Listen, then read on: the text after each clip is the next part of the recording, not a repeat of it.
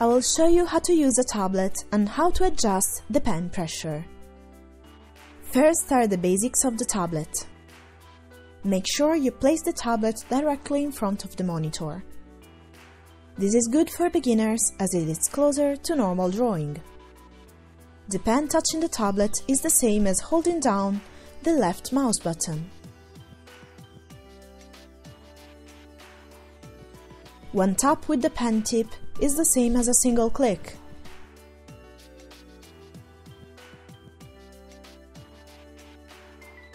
Two taps are the same as a double click.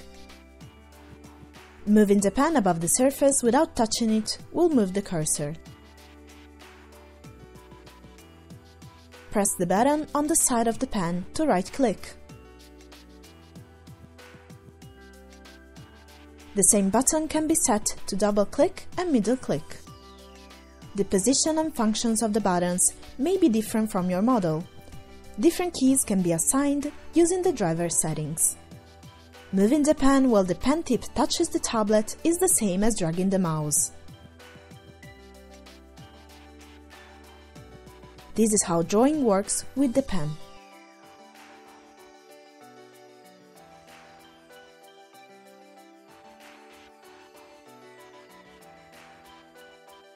The four corners of a tablet's drawing area correspond to the four corners of the screen. Touching a tablet with a pen will show the cursor in the same spot on screen. So if a pen is near the bottom left of a tablet, the screen's cursor will be at the bottom left too.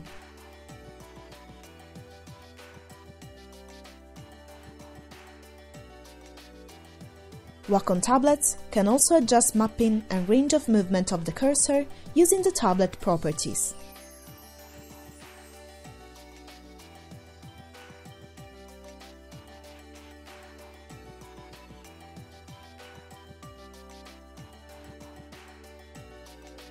Tablet drivers can also adjust how brush strokes feel. Basic settings can be set from the Wacom tablet, Properties, Pen,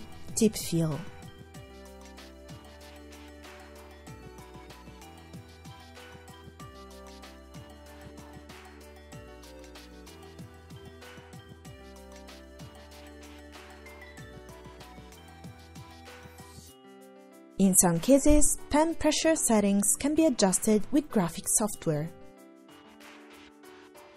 For example, Clip Studio Paint has pen pressure settings in the File menu.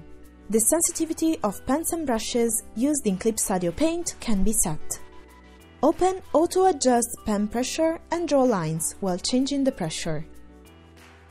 Based on the drawn lines, Clip Studio Paint automatically creates the best settings. Adjustments can be made from one stroke or multiple strokes. When testing the adjusted results, click Try Adjusted Results and test the feel of the brush. When you're satisfied, click OK. Each subtool has its own options to adjust pen pressure. Each pen and brush can be adjusted in detail. Pressure settings can be displayed by clicking the icon next to the Subtools Tool Property palette Brush Size. From here, you can apply and disable pressure settings, set a minimum pressure, or set pressure along a curve. By adding control points by clicking the curve, details can be adjusted. To remove a control point, click on it and drag it out of the frame. With this, the preparation for drawing with the tablet are done.